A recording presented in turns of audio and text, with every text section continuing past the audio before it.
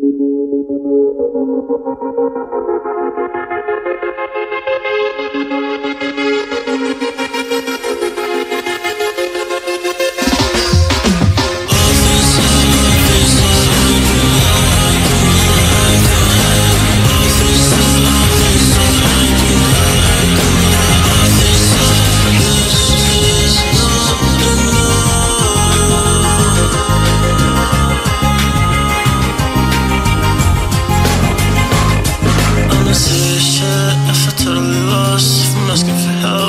on your couch and you Has opened my eyes, could I ever believe such a perfect surprise? I keep asking myself